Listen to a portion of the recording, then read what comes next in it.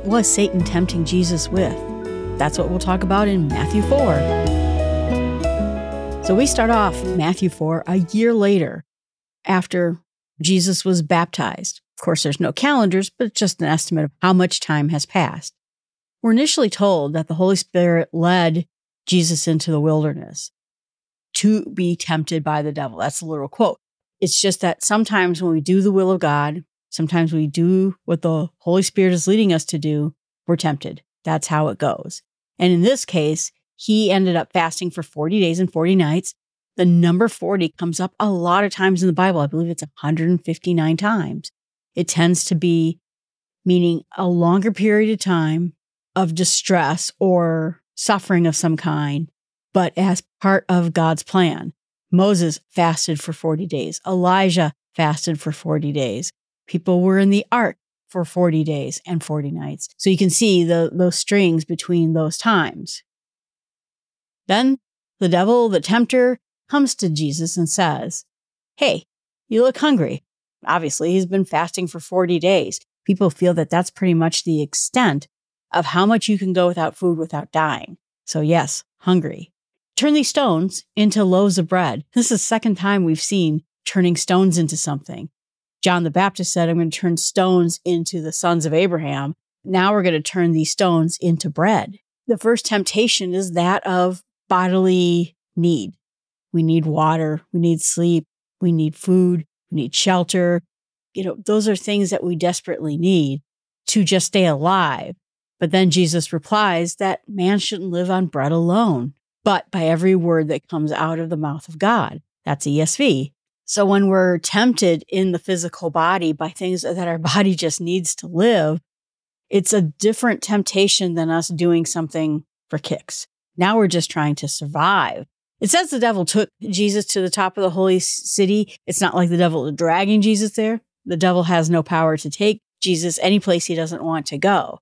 But he says, you know, if you're the son of God, Satan knew this is the son of God, but just saying, as part of you being a son of God, you know, if you throw yourself down off the top of the temple, Josephus indicated it was about 450 feet high, then the angels will catch you. They'll bear you up to prevent your very foot from striking the stone.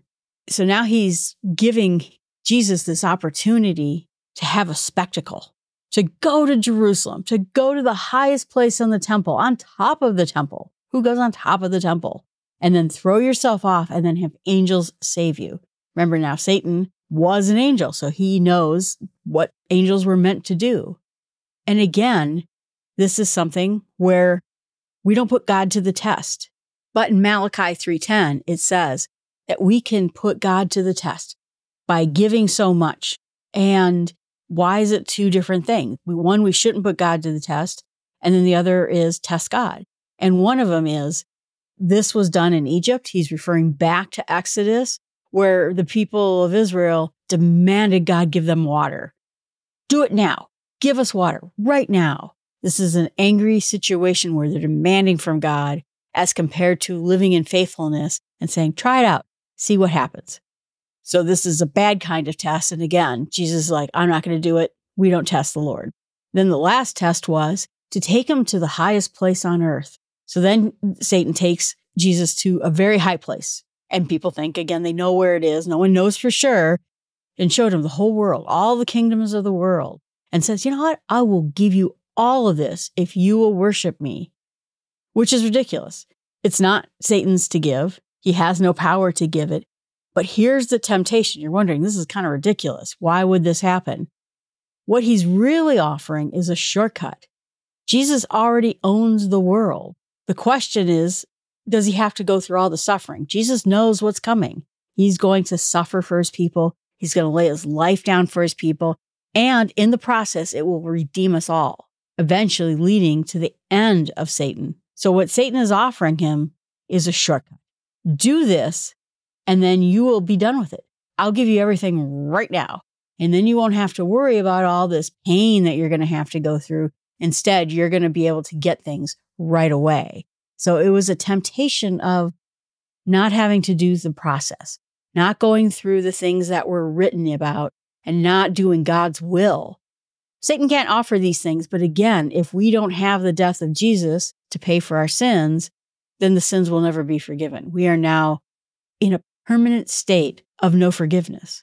We can't be perfect on one hand, and on the other side, we can't have our sins paid for. So now we're doomed. So this was really a temptation that was going to shortcut everything for us. And so Jesus at this point is ready to be done with Satan and tells him, You shall worship the Lord your God, and him only you shall serve. That's Deuteronomy 6:13. And that was the end. Devil left him. The angels came and ministered to him. But now we're going to see Jesus start his own ministry. He hears that John the Baptist was arrested and he goes to Galilee. Leaving Nazareth, where he's from, he moves to Capernaum.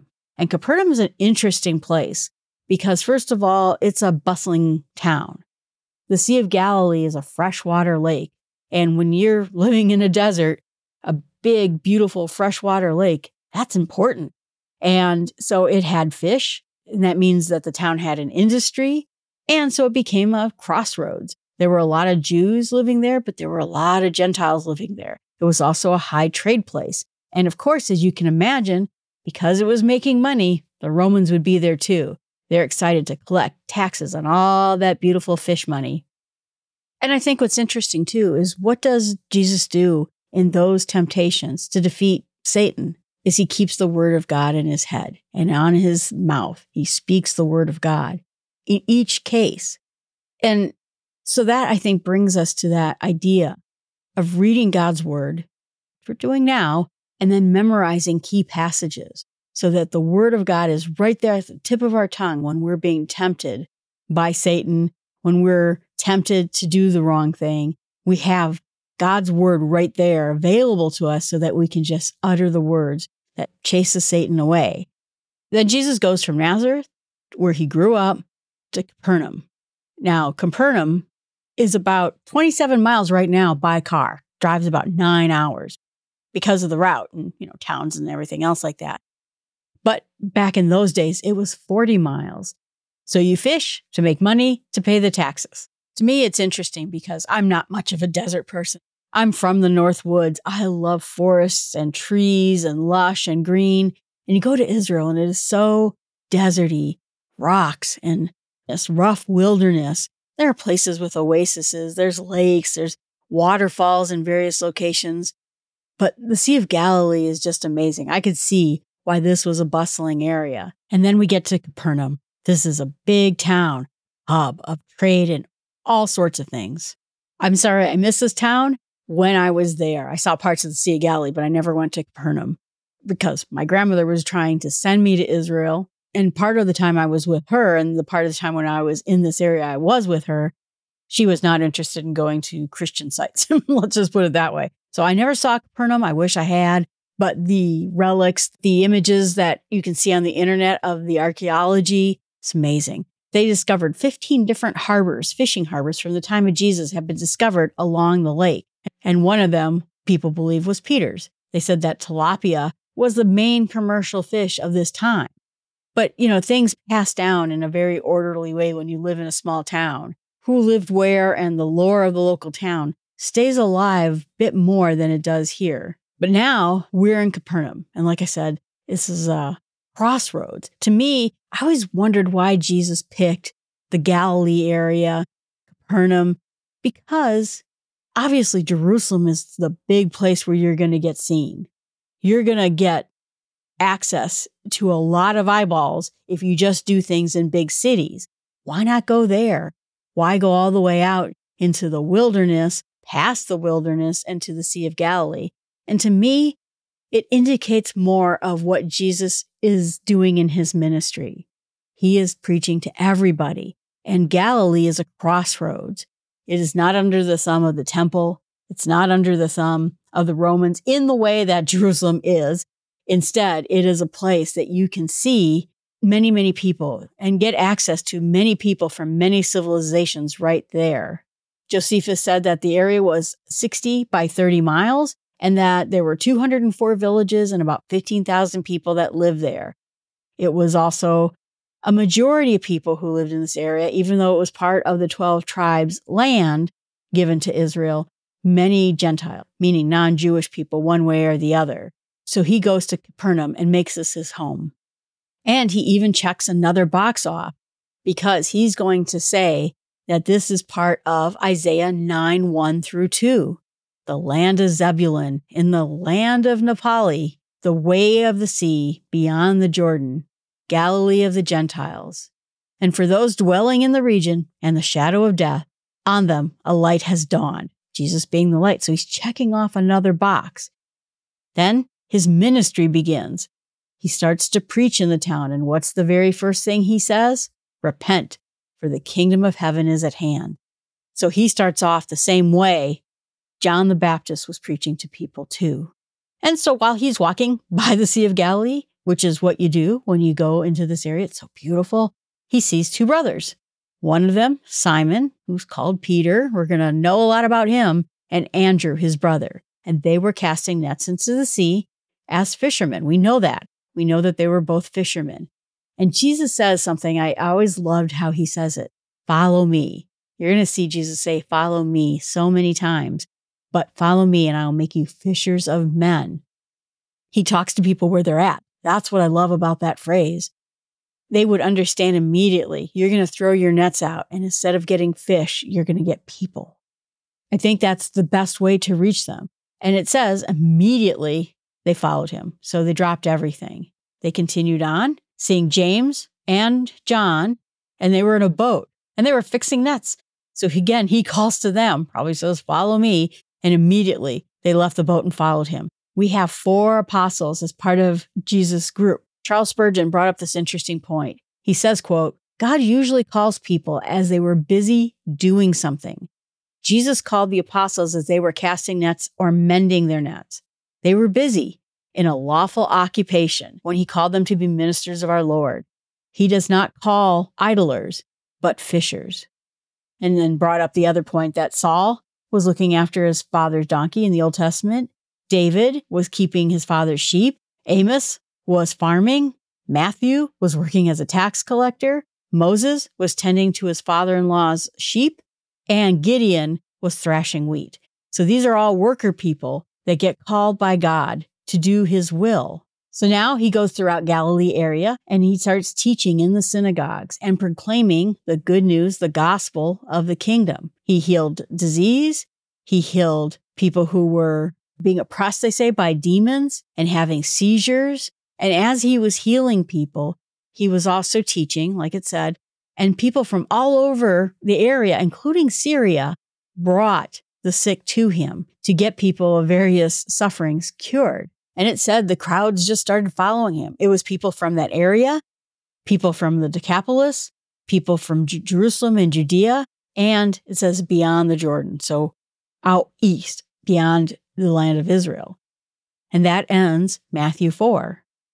So when did the dates take place? This was about a year after the part where John was baptizing Jesus.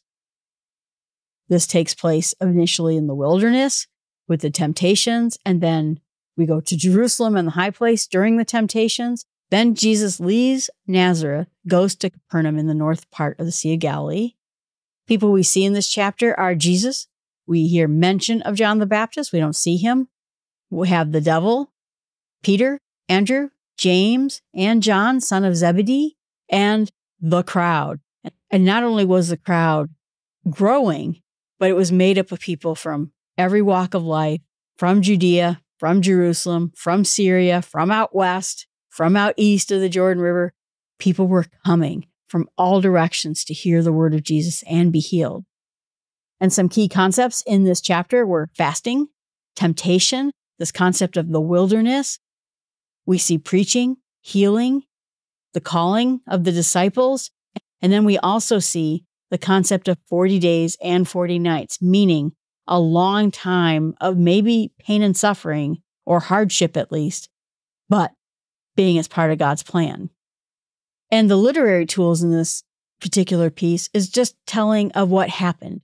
We see Jesus using quotes from God's word to take down the devil.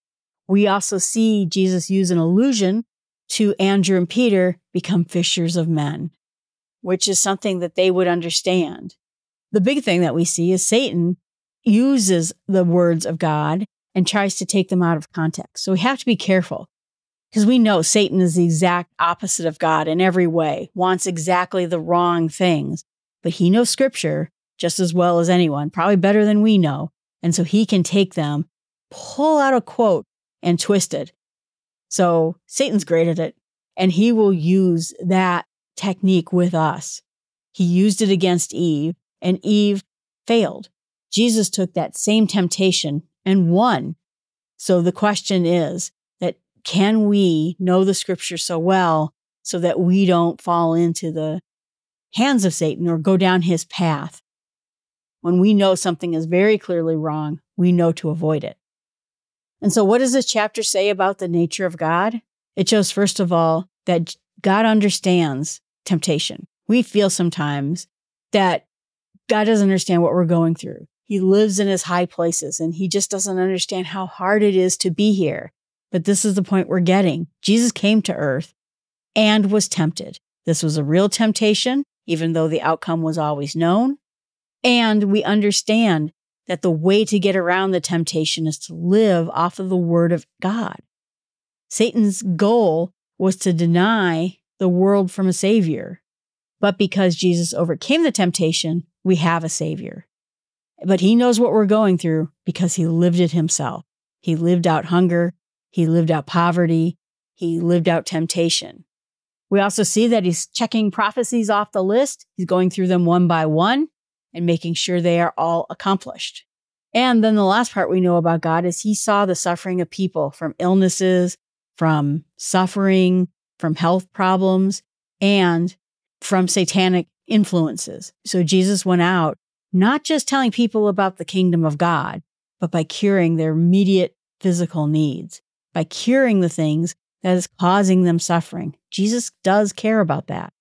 So it would be easy to see if God walked around and saying, Hey, I know you're this hurts and you're that hurts, but what's important here is your salvation. Absolutely true. The salvation is the most important thing, but he also cares about what happens to us here and the suffering that happens right now. What does this book chapter say about our human nature? It shows us that we have many woes. We have illnesses, we have temptations, we have suffering inflicted by demons. And even though the eternal kingdom is of his utmost mind, he still cares about the suffering that's happening in the here and now and people will go a great distance in order to get relief. Travel was dangerous back then, but people came from faraway places in order to get what they needed. And what they needed was a savior who cares about them. What's the central message of what God is trying to preach? Which is clearly the first thing he says is repent. We need to live off of what he says every word from God's mouth. Repent means we're going to turn back we're going to turn away from our sins. We're going to go the other direction. But the temptations show us that we should not give in to temptation because of our human need, because of our desire to be seen by the people as special, or to be offered power by Satan. We also don't tempt the Lord. If you don't give me X, I'm not going to believe you. And we should avoid any shortcut or avoiding God's pain in what God told us to do because God will give us what we need in eternity. The words of God can drive off the devil. We've seen that. And we should take note that the devil uses scripture, knows it very well. Again, he was an angel, he understands it. But because Jesus overcome those temptations with the word of God, we should also do the same. And so what does God require for us?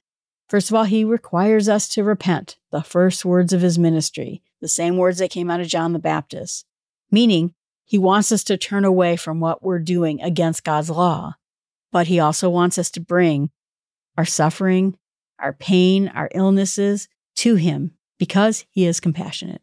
My meditation this week is going to be about God taking care of our immediate needs, our physical needs right now, but also we're about to verge on our spiritual needs when He talks about the Sermon on the Mount and how we see God taking care of our physical needs And my prayer is for people to see Jesus as he really is and what it means for him to be here on earth with us through temptation, through the suffering we're going to see, for Jesus to be here on this planet.